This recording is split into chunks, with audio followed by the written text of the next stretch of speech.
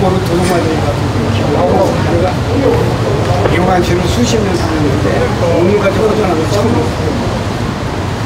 소매는 잘 계시고 기쁘지 말고